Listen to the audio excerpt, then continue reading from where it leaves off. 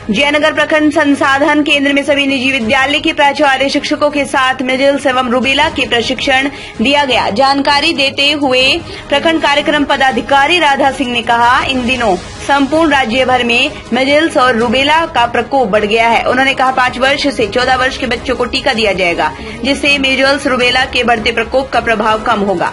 टीका लिए हुए व्यक्तियों को बीमारी कभी नहीं होगी। जानकारी देते हुए बीटीएम शैलेंद्र तिवारी ने कहा, लाइन लाइफलाइन एक्सप्रेस के तहत सरकार की ओर से संचालित विभिन्न प्रकार की बीमारियों का इलाज विकोडर्मा के पीपरा डीह स्टेशन में पाँच अप्रैल से शुरू हो गया है। उन्होंने जानकारी देते हुए सभी शिक्षकों को कहा, विद्यालय में पढ़ने वाले सभी बच्चों, अभिभावकों को टीका लेने के लिए निर्देशित करें।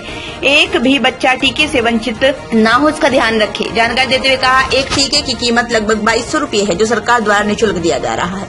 आने वाले एक महीने के बाद ये टीका उपलब्ध नहीं हो पाएगा। मौके पर डब्ल्यूएचओ अक्षय कुमार ने कहा, मिजल्स और रूबेला के प्रकोप से जान तक जा सकती है। ये कोविड से तीन गुना ज़्यादा खतरनाक है।